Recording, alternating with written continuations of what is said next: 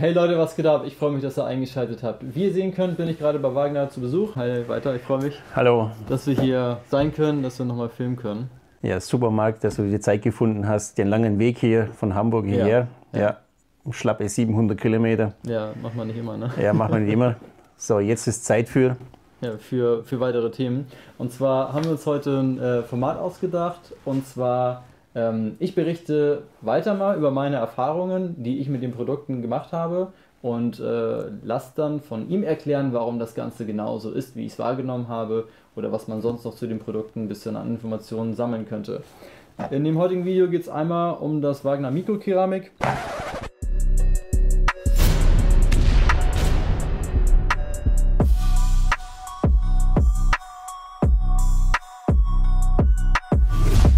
Habe ich ja schon erfolgreich und äh, mehrfach auf diesem YouTube-Channel und mit verschiedenen Autos und mit Freunden schon getestet. Und äh, ja, das ist heute Thema. In dieser Videoreihe haben wir mehrere Produkte abge abgebildet und äh, in diesem Format haben wir mehrere Produkte auch schon mal, durchgesprochen. Und wir werden das mit allen Produkten machen, die ich auf diesem Channel mal verwendet habe. Also Oilstop, Motor Cleaner, Mikrokeramik, äh, das Bactophin und den äh, Octan Booster. Den Octan Booster, ganz frisch. Genau, da kommt noch ein Video. Ähm, andere Sachen haben wir schon im Kasten. Und jetzt geht es direkt zu den Erfahrungen, die ich mit dem Mikrokeramik gesammelt habe. Ähm, das erste herausstellendste Merkmal ist natürlich eigentlich die neue Laufkultur, die Laufruhe, die entstanden ist, nachdem es eine gewisse Zeit halt im, im Motor drin geblieben ist. Wie lässt sich das am besten erklären, dass es sich so verhält? Mm, das ist einfach zu erklären. Ähm, das steht ja schon auf der Dose. Hier Mikrokeramik. Wir setzen hier einen mikrokeramischen Festkörperschmierstoff bei, äh, in einer relativ hohen Menge. Das mhm. heißt, äh, wir applizieren bei einem Motor mit 2 Liter ungefähr 20 Gramm. Ja, okay. Reinste keramischen Festkörperschmierstoff, was sehr hoch ist. Mhm. Und das führt dazu, dass, wir, dass sich, die, sich das Öl verfärbt. Wenn ich das jetzt im Getriebe einsetze, wird das Öl fast schneeweiß werden. Ja, das sehe ich natürlich beim Motor nicht, nur kurzfristig. Ja. Äh, weil der Ruß kommt und das Ruß, der Ruß wird das komplett überdecken. Und äh, der hohe Festkörperanteil ist dafür verantwortlich, dass sich sofort, also mit der Betonung sofort, mhm. eine äh, bessere Laufkultur einstellt. Also man, man, äh, man kann das so hören, ja. ja dass der Motor einfach samter ruhiger läuft. Ja, wir können es auch messen, das haben wir auch schon gemacht. Ich, nehme mhm. ich habe auch in den, deinen Channel verfolgt. Ja, ja und vielleicht deine Erfahrungen über, über die Laufkultur. Jetzt ja. an dem, an dem Sechszylinder-Motor. Ja. ja, also die, äh, die Laufkultur und die Laufruhe hat sich tatsächlich äh, verbessert. Im messbaren Bereich war es, glaube ich, mit, mit, sagen wir, mit meinen amateurmäßigen, aber gleich aufgestellten ähm, Dezibelmesser war es ungefähr 1 bis 1,3 Dezibel. Natürlich hat man immer Schwankungen hoch und runter.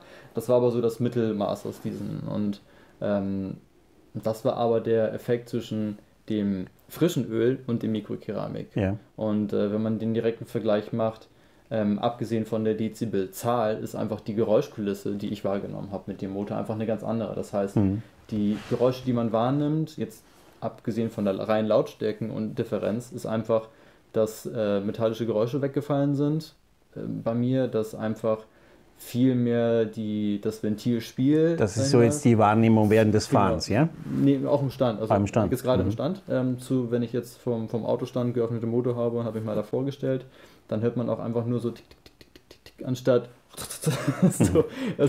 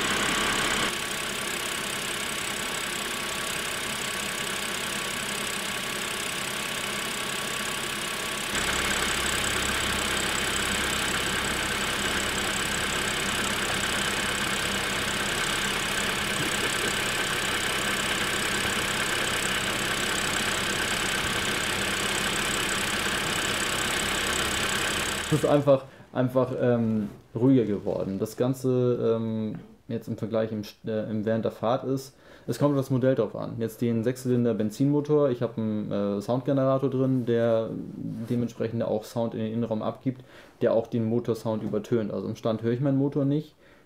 Krass war es aber in der Laufkultur Vierzylinder Diesel von meinem von dem 21 Diesel, den ich äh, verwendet habe und den 330 Diesel von meinem Vater. Ähm, ebenfalls Sechszylinder. Da war wirklich so die Wahrnehmung im Innenraum beim normalen Fahren, im Stand war der Motor deutlich weniger präsent. Also da war wirklich, äh, ja, es ist ruhiger geworden, angenehmer und der, der Motor, der im Stand, der, der hämmert nicht mehr so, mhm. sondern es ist Benziner ähnlicher als ne? vom Sechszylinder Benziner ist man sehr verwöhnt. Aber Gut, der Sechszylinder läuft schon super ja. samtig weich. Ne? Habe ich ja heute schon gehört. Ja, also wirklich, das ist ein Traum, wirklich. Ja, ja. Ja, aber für einen Vierzylinder Diesel, den ich ja selber besaß, also ich kenne den Motor sehr gut. Ich habe vier Jahre das Auto gehabt. Ähm, der lief gut. So, also es ist, ist, echt top. Also alle Dieselfahrer berichten uns, dass die ja. Motoren samtig weich laufen, ähnlich ja. wie Benziner dann vom, vom, vom Geräuschvolumen. Ja. ja. Und äh, das deckt sich jetzt auch mit den Messungen, die unser Kunde in Japan gemacht hat und nicht weniger Kunde als Toyota, die dort selber auf den Prüfständen Untersuchungen gemacht haben. Und zwar äh, ist ähm, das Fahrzeug auf dem Prüfstand gelaufen. Und zwar gemessen wurde wiederum ein 2 Liter Benziner auf dem Prüfstand bei 3000 Umdrehungen unter Last und natürlich auch richtiger Last. Also nicht nur, dass ich nur 5, 15 kW abnehme, sondern ich nehme da mal 50, 80 kW ab. Mhm. Und dort wurde gemessen äh, von 92 dB auf 89. Und das sind 3 dB Unterschied, das ist sehr, sehr viel. Ja. ja. Äh, ich meine, 4 dB müsste das halbe Geräusch sein. Ja, ja. Und das ist enorm. Und das ist letztendlich nur dazu begründen, indem wir hier äh, eine hohe Menge an Festkörper beigeben, die dieses äh, Dämpfverhalten bringt. Natürlich auch die ganze metallische Geräusche werden da rausgenommen und letztendlich ist ja nicht nur das Verbrennungsgeräusch ausschlaggebend, mhm. aber auch die, die, die, ganze Mechanik, die ganze Geräuschkulisse, die in der Mechanik entsteht. Es sind sehr viele Bauteile, die ja. sich da ineinander bewegen und äh, das führt letztendlich äh, zu einer ganz deutlichen Verbesserung. Ja, ja. ja. Also das, das kann ich auch ähm, bestätigen, weil ich habe auch gemerkt, dass zum Beispiel das Kaltstartverhalten, also ich habe manchmal Segmente in meinem, in meinem, sag mal, mein Verhalten, wie ich mein Auto benutze, ist, mein Auto steht mal eine Woche lang komplett und ich mache ihn an. Und der ist wirklich instant an. Der ist sofort ja. an, der eiert nicht, er orgelt nicht, sondern zack, das Ding ist an.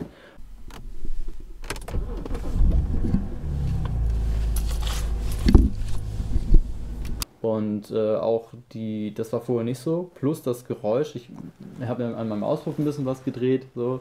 Der BMW Performance Auspuff klingt halt gut, deswegen steige ich auch gerne mal aus und höre mir den Kaltstart an. Ja. So, und äh, da ich sehr affin mit meinem Motor umgehe, mache ich auch mal Haube auf und höre mir den Motor an, wie klingt der kalt. Mhm. Das mache ich immer wieder. So, und da merke ich auch einfach, dass im Vergleich zu vorher, wo ich das noch nicht benutzt hatte, dass einfach da ein enormer Unterschied gekommen ist, wie viel metallische Geräusche auch in dem Kaltstart Moment zu hören sind. Also ne, Fenster yeah. auf, ich mache mein Auto meistens erstmal Tür auf, Fenster auf und dann an. So. Oder manchmal auch Motorhaube, um halt dieses zu überprüfen. Also ich habe wirklich gemerkt, dass er springt schneller an ähm, und leichter.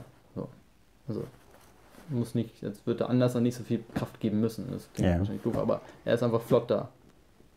Gut, das, äh, ich hab, ich, wir fahren ja hier im Betrieb nur Diesel. Ja. ja. Und deswegen kann ich jetzt mit dem Benziner, weiß ich, die laufen sehr, sehr perfekt. Beim Diesel ist es mhm. so, wenn man ein Dieselfahrzeug jetzt länger stehen hat, zum Beispiel jetzt eine Woche, wir haben jetzt Winter, ja, ja. Und ich starte den kalt, dann habe ich ein wirkliches äh, metallisches, massives Geräusch. Ja. Und äh, wenn ich Mikrokeramik fahre, und das sind auch die Ergebnisse oder die, die Kundenfeedback von unseren Anwendern, äh, dass die Motoren auch im kalten Bereich schon samtiger laufen. Ja. ja. Und gerade der Kaltstart ist ja letztendlich ein Riesenproblem, wenn ich jetzt einen, einen, Motor kalt starte und den auf Drehzahl bringen muss, weil ich vielleicht eben in der Stadt eben mitfahren muss, ich muss die Geschwindigkeit halten, bleibt mir keine andere Möglichkeit, als das Fahrzeug auf Drehzahl zu bringen. Ja. ja. Ähm, ohne dass ich jetzt, ohne dass ich es wirklich warm fahren kann. Ja. ja. Also mir ist es auch schon passiert, ich fahre mit dem Transporter schwer geladen von der Messe weg und es geht ein Berg hoch. Motor ist kalt, ja. Mhm Und ich habe mich entschieden, den nicht hochzudrehen. Ich bin dann nur mit 40 hoch und dann kam schon die Lichthupe von hinten und, und äh, ja, ja. Äh, kam da Druck von hinten. Ja, nachdem, was ist da los? Aber ich wollte einfach das Fahrzeug jetzt nicht mit hoher Drehzahl hochquälen, im kalten Zustand, ja, weil ich das einfach nicht kann. Ja, das ist ja, wenn, das Herz. ja, ja. ja, tatsächlich. Ja. So, ja. Hm, genau. Ähm, was ich auch noch sehr interessant war, war auch, ähm, als ich damals hier war, dann haben wir hier das Mikrokeramik eingefüllt und ich bin wieder zurückgefahren. Zu dem Zeitpunkt hatte ich ja noch äh, das Ceratec drin in dem Motor. Und auf der Rückfahrt hatte ich, ich habe ja mit meinem, ähm, also ich habe ein OBD-Messgerät, ne, mit dem ich halt äh, die Messwerte auslese und yeah. den genauen Verbrauch herausfinden yeah. kann. Und das habe ich für die Hinfahrt und für die Rückfahrt gemessen. Und ich bin beide Touren so gut es geht gleich gefahren. Tempomat 160, Abfahrt, Ende. Mehr habe ich nicht gemacht. Und ähm, da habe ich einen Unterschied feststellen können von, ich glaube, 0,6 Liter Verbrauchsunterschied, obwohl ich vorher schon das Ceratec drin hatte. Ja. So, also das fand ich auch krass. Ich, habe die Vermutung, wenn man Kurzstrecke fährt, merkt man nicht viel von den Verbrauchsreduktionen. Der Motor muss auf Temperatur sein, das ist jedenfalls mein Eindruck aber auf ähm, längeren Zeitraum. Ich, ich tracke meine ganze ähm, Sprit, jeden Tank äh, mit, dem, mit der App Spritmonitor. Das heißt, ich habe über, ja, seitdem ich das Auto habe, drei, vier Jahre oder sowas, habe ich einen genauen Verlauf, wie meine Kurven sind. Ich weiß aber auch, wann mein Fahrprofil sich geändert hat. Ja. Und da habe ich auch herausgefunden, dass einfach ein halber Liter ungefähr Tendenz, auch wenn ich starte oder mal ein bisschen länger unterwegs bin, einfach weniger ist. Also es ist einfach die Effizienz ist besser geworden und der Verbrauch etwas weniger. Ja, unsere Kunden berichten äh, alle über eine Kraftstoffersparnis. Und das hatte ich ja auch zum Beginn, und zwar hatte ich die ersten Versuche im TÜV-Abgaslabor mhm. gemacht. Und äh, dort wird der Abgas gemessen, oder der Kraftstoffverbrauch wird über Abgas gemessen. Okay, das heißt, das Fahrzeug läuft auf einer Rolle unter Last. Das heißt, ich fahre jetzt ein Fahrprofil ab in der Stadt. Und ich fahre ein Fahrprofil ab äh, wie auf der Autobahn. Das heißt, ich halte zum Beispiel sieben Kilometer Mhm. Oder in dem Fall war es so, die Tests waren in 2003 und 2004 insgesamt mit äh, drei Fahrzeugen. Ja. Und da hat sich einfach ganz klar gezeigt, dass wir nach kurzer Zeit, also nach, nur nach 160 Kilometer Einlaufzeit, schon eine Kraftstoffversparnis von 4% zu messen ist. Mhm. Das heißt, äh, gerade an diesen Prüfständen, die wirklich hochpräzis sind, ja, und das alles über das Abgas gemessen. Das heißt, das, die, die Masse des Abgases, das Volumen und die Masse des Abgases wird äh, dann umgerechnet auf den Verbrauch. Ja? ja. Und äh, eine präzisere Messung gibt es so nicht. Ja, das heißt, der ganze Kraftstoffeinfluss wie Kraftstoffdichte, Temperatur und so weiter, diese Sachen sind alle ausgeschlossen. Mhm. Und äh, somit kann ich, äh, können wir ganz klar sagen, dass eine Verbesserung äh, nach kurzer Laufzeit, das heißt jetzt in dem Fall 160 Kilometer hatte ich jetzt gefahren, nur mit der Keramik ja. Äh, vor der Messung und nach, und nach der oder mit ähm, der Messung mit Keramik. Ja, ja, das ist noch zu gering. Die Erfahrung zeigt, dass das totale Ergebnis mit der Mikrokeramik kommt erst nach zwei, vier, 6000 Kilometer, ja, okay. bis die, der totale Effekt kommt. Ja. Bis das alles eingelagert ist, bis wir hier diese perfekte Reibungsreduzierung erzielen können, mhm. dauert einfach so lange. Ja. ja. Was wir sofort hören können, ist äh, die Geräuschminderung, äh, eine, eine, bessere Dynamik. Ja. Und äh, eine totale Leistungsentfaltung kommt eben nach dieser Zeit erst. Mhm. Ja. ja. Also jetzt nicht erwarten, dass man jetzt äh, das reinfüllt und dann die ersten 100 Kilometer habe ich ein Ergebnis. Nein, nein, nein, sondern es braucht schon ein bisschen Zeit. Mhm. Ja, ja, ja. Das ist auch den, den Effekt, den ich auch in den Videos versucht habe darzustellen. Also ich habe meistens eingefüllt und dann bin ich 40, 80 Kilometer gefahren, um ein bisschen den Effekt noch mehr ein bisschen ja, ja. darstellen zu können, weil ich weiß, dass er da ist, weil ich auch schon mal die Anwendung, ich hatte ja den Startpunkt hier frisch eingefüllt, 700 Kilometer nach Hause und dann nochmal getestet. Das heißt, der, der Vergleich war am gleichen Tag. Ja. Und ich hatte das Ergebnis vorher, nachher. Und das war wirklich äh, dann deutlich wahrnehmbarer, als wenn man dann 10 Kilometer fährt und noch nicht viel passiert ist. In diesem Zusammenhang habe ich aber irgendwie nicht feststellen können, dass äh, der Ölverbrauch sich bei meinem Auto verringert hat. Durch, das, äh, durch die Zufuhr des Mikrokeramiks. Die blieb eigentlich bei dem Wagen oder bei dem Motor gleich. Ähm, was jetzt nicht extrem schlimm war im Prinzip, weil nicht mein Fokus drauf lag, weil die Laufruhe mir in dem Sinne wichtiger ist, plus der Verschleißschutz gerade Kaltstart oder meine äh, Fahrten auf dem Track, also Nürburgringfahrten, Autobahnfahrten, da ist mir der Verschleißschutz gerade sehr wichtig. So. Und ähm, da habe ich auch die Erfahrung gesammelt, wie auch einfach, wir haben ja die Reichweite bei mir anders benutzt. So, das Video habe ich noch gar nicht online. Ich Ja. habe ja erst mit, mit Keramik gedrückt und dann ohne. Und dann war echt schockierend, Ja. wie schnell es denn doch geht, wenn man es nicht drin hat. Mhm. Das war auch krass. Also, ähm, Also du sprichst Ja, jetzt von dem. Reich, äh, von, von der Reichert-Waage, also von der und von, Reichert-Waage, den, genau, von den ganz einfachen äh, Belastungs... von dem ja. DIEM-Prüftest. Ja, genau, ja, ja, ja, genau. ja, genau. Ja, das war auch wahrnehmbar. Ansonsten, ähm, genau, zum, zum Kraftstoffersparnis äh, bei meiner Freundin, die hat das auch drin in ihrem äh, 1,480 PS Motor von äh, VW. Und äh, ganz krass war immer die ersten zwei Sekunden äh, das metallische Schlagen beim Starten und richtig lautes Klackern. Ich glaube, das waren die Hydros. Das ging, das ging weg und wurde deutlich leiser. Plus, sie, sie fährt damit nur zur Arbeit. Das ist ein reines Pendelauto. Kurzstrecke. Ja. Ja, ich glaube 20 oder 30 Kilometer. Also der Motor wird schon mal warm. Ja, der ja. wird schon warm, ja. Aber jeden Tag. Also eigentlich für viel anderes wird er nicht benutzt. Und in dem Fall war, habe ich dann äh, auch dann bisschen mal geguckt, wie sich der Verbrauch ändert vorher, nachher. Und das war wirklich auch äh, 0,7 Liter. Also von, von 7,5 auf 6,7. Irgendwie so in dem Bereich pendelte sich das dann ein. Also es war wirklich Sie äh, trackt das auch mit Spritmonitor?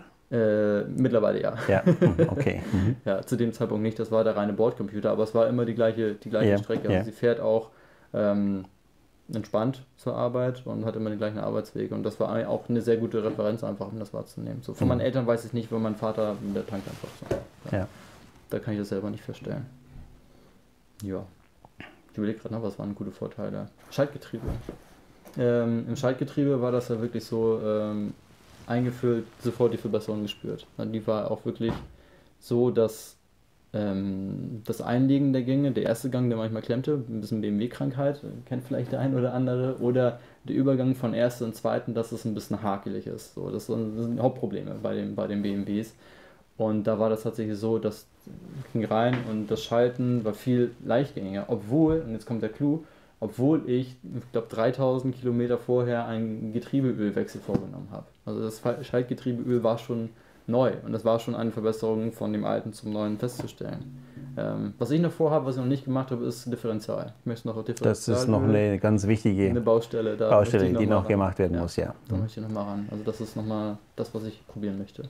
So, die, die Erfahrung zeigt jetzt eben auch, die, das Schaltgetriebe oder auch das Differential ist ja ein reines, sehr kompaktes und sind kleine Ölvolumen drin. Mhm. Ja? Und äh, dementsprechend brauche ich ja auch nur 10% davon. Das heißt, der, der Aufwand ist, ähm, einzusetzen ist minimal. Ja. Also der finanzielle Aufwand vom Produkt. Ja. Das Ergebnis umso, umso besser. Ja? Ja. Um nochmal Reibung zu reduzieren, Verschleiß zu reduzieren und natürlich auch die ganze Performance zu verbessern. Okay, ja, ich bin gespannt. Also das ist noch eine, eine Sache, die ich im Kopf habe, die möchte ich noch unbedingt machen.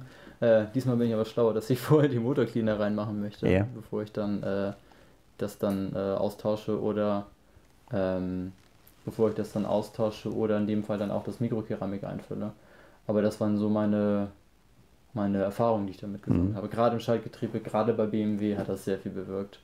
Gerade wenn ich meinen Motor hochpeitsche und mit 7000 Umdrehungen unterwegs bin, habe ich natürlich auch den Effekt, dass ich einfach weiß, dass ähm, das Mikrokeramik einfach dazu führt, dass die, die Belastbarkeit oder der Verschleißschutz einfach wesentlich höher ist als vorher.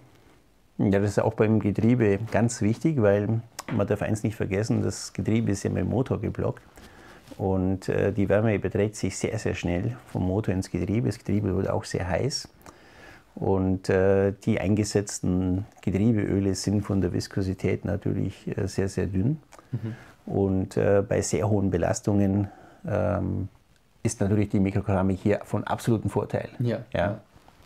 um eben Sicherheit zu haben, ja, Ja. Verschleiß reduzieren und finale eben auch die Reibung zu reduzieren, um eben langfristig auch Kraftstoff zu sparen. Ja. Den Getriebeölwechsel äh, wird ja nicht so oft gemacht wie der Motor, das machen wir auch vergessen. Ja. Oder wird man schiebt das und schiebt Mhm. das immer weiter. Ja. Und letztendlich ist es auch so, dass eben dann äh, die Viskosität mal zusammenbrechen kann, insbesondere bei extrem hohen Belastungen. Ja. Und zum Beispiel jetzt bei, natürlich, so wie du fährst, ich weiß ja, wie du fährst, mit Hackengas, ja, gibt ja nur eine Stellung. Ja. Manchmal. Äh, manchmal, okay. Aber die Sicherheit ist einfach da. Ja. Ja. Das ist, So, dann natürlich auch nicht vergessen Differential. ja. Ja.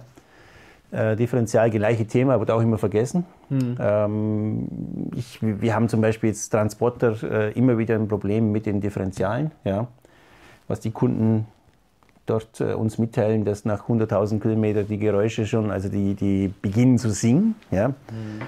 Äh, das Singen heißt einfach Verschleiß. Ja. ja. Und äh, hier kann man mit, mit einer kleinen Menge. Menge entgegenwirken, kann man schon sehr, sehr viel machen. Ja, und ja. deswegen auch meine Empfehlung, an unsere Kunden hier das äh, manuelle Getriebe, Schaltgetriebe und das Differential nicht zu vernachlässigen. Ja, ja. das, das finde ich auch total typisch, weil BMW das ja immer anbietet als Long-Life-Füllung und das ist so dieses... Ja, die Frage ist halt, was... die Frage ist halt, was ist Long-Life? Ja, ja, Also, ne, das, also das, das ist ein dehnbarer Begriff. Ne? Ja, ja, eben. Das ist dann halt so wischiwaschi, finde ich auch doof. Also ich weiß, dass ich es machen muss. Ich habe es auch noch nicht hinbekommen. So, ja. Jetzt ist es auch über 120.000 Kilometer alt, also allerhöchste Eisenbahn. Das ja, absolut, ja. Mhm. Genau.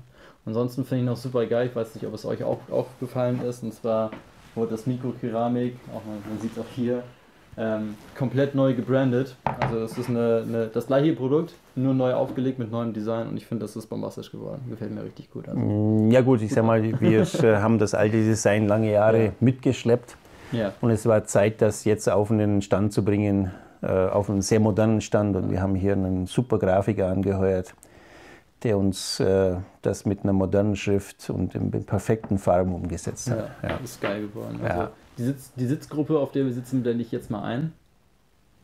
Dann könnt ihr auch sehen, worauf wir hier sitzen. Yeah. Und äh, ja, auch auf Messen ist das äh, bisher auch sehr gut angekommen. Ja. Also. Gefällt mir. Das ist ein Eye-Catcher geworden. Ja, ja, ist, ja, definitiv. Ist richtig ja, cool, ja. macht richtig Spaß. Absolut mega. Ja. genau. Ja. Das, das, ist, das ist nicht von mir, sondern das ist das Feedback von unseren Kunden. Von ja. den Kunden? Ja, okay, ja. Das ist geil, ja. Das ist schon, das gefällt mir auch, ist cool geworden. Richtig gut. Genau. Cool. Dann äh, bedanke ich mich ganz herzlich an dieser Stelle. Gerne, Marc. Und äh, freue mich, dass ich wieder hier äh, Gast sein durfte und äh, wir die Zeit auch gefunden haben, auch in einem sehr fluktuierenden Business immer noch dann äh, die Zeit zu finden, hier ziemlich viel YouTube zu drehen. Ja. Um auch euch dem, äh, immer wieder ein paar Infos zu bringen und auch einfach die Möglichkeit zu bieten, Fragen zu stellen, Fragen zu beantworten und auch gerade eure Erfahrungen halt ähm, mit weiterzutragen, weil ich, ich nehme die Kommentare und leite Kommentare, die ich kriege von euch auch immer wieder von WhatsApp, von Instagram, von YouTube, das leite ich immer wieder weiter an weiter und äh, der freut sich dann auch und sagt, sehr cool, das ist ein cooles Feedback und er freut sich auch einfach, ähm, dass das Ganze, ja, ja. was er macht, wofür er so mit, also wir, mit, mit Leib und Herzen steht. Wir lernen ja auch daraus und äh, wir nehmen auch Kritik auf. Also es ist nicht so, dass wir jetzt das äh, vorne wegschieben, sondern äh, eure Meinung ist uns wirklich äh, wichtig. Ja, deswegen auch in die Kommentare rein und äh, wir nehmen das gerne auf und geben auch gerne Feedback. Ja, ja. Ich versuche ja auch immer kritisch zu fragen, aber ich finde nicht so viel, weil ich halt damit zufrieden bin, muss ich ganz ehrlich sagen. Also ich bin sehr äh, sehr überzeugt und zufrieden. Und die Leute, denen ich sage, nimm das, die sagen, boah, das ist geil. Ja. Und dann hm, versuche ich jetzt zu sagen, ja, was ist mit Additivierung und Öl und versuche halt kritisch zu fragen, um ein bisschen so ähm, zu nailen, sag ich mal so, yeah. um, um dich festzunageln, yeah. um auch gerade da ähm, die Ängste von anderen Leuten vielleicht auch mal nochmal, sag ich mal, zu klären, ein bisschen in der Aufklärung zu yeah. sein. Weil ich habe selber, ich bin selbst nicht aufgeklärt, sag ich mal so ganz doof. Ich habe ja auch, in dem letzten Video meinte ich ja auch, ne, Allstop, Motorcleaner, äh, Wagner Mikrokeramik, oh mein Gott, habe ich da jetzt Wasser im Öl und da ist auch die, die Aufklärung ein sehr großer Bestandteil, wo ich selbst auch keine Ahnung habe. Ja. Das möchte ich dann auch so kritisch fragen. Hm, wir haben ja auch schon ein bisschen was gemacht. Ja, also wir genau. haben ja genau. YouTube-mäßig noch, ähm, sind ja wir Greenhorns, ja, ja muss man ganz klar so sagen. Und wir haben äh, zwei Videos aufgelegt, einmal den Test und äh, wir haben ein Interview gemacht, hm. wo wir alle relevanten Fragen äh, dort gestellt haben, ja. ja. die ich dann beantwortet habe. Mhm. Äh, wenn Sie jemand interessiert, auch äh, werden hier detailliert, äh, werden hier eigentlich alle Themen mitbehandelt. Und wenn Sie interessiert, hier bitte ja, blenden wir den Link hier, ein. Genau, irgendwo ja. Link unten, unten in die Beschreibung. Link oben oder links oder rechts, ja, je nachdem. Ja. Aber werden wir, werden wir was machen. Okay. Genau, an dieser Stelle äh, freue ich mich ganz doll auf eure Kommentare und ich freue mich auch äh, dass ich hier empfangen worden bin. Sehr herzlich, wie immer. Und äh, ja, würde ich mich freuen, dass ich ein Feedback bekomme. Äh, weiter vielen Dank für deine Gastfreundschaft und dann äh, kommentiert, liked, subscribed und dann sehen wir uns im nächsten Video wieder. Bis bald. Tschüssi. Ja. Ciao. Ciao, ciao und alle Fahrer von Mikrokeramik. Gute Reise. und kommentieren.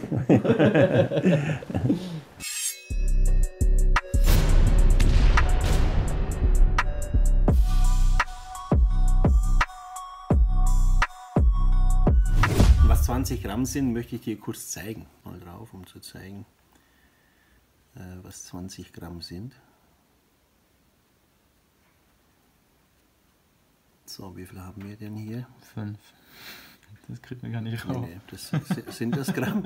sind das Gramm? Das sind 6 Gramm jetzt. Ja. Das kriegen wir da gar nicht rauf. Ja. Uiuiui. Ja. 8 Gramm. So, das sind jetzt 8 Gramm. Das ist eine sehr hohe Menge. Ja. ja. Mhm. Wahnsinn. Ich bin mir aber jetzt nicht sicher, ob wir, äh, ob wir jetzt hier nicht irgendwelche ähm, Unzen eingestellt haben oder so. Na, also ich, nee, da steht ja. Gramm. Oben hier oben. Sicher, ja? Da oben. Oh, 8 Gramm. Gramm. Mhm. Okay. Ja, das ist eine sehr hohe Menge, ne? Ja. 8 Gramm. Ich wechsle mal hier Position, dass ja. man einmal den Berg schon sieht. Ja. Das sind jetzt 8,7 Gramm. Ja. Das ist eine ordentliche Menge. Ne?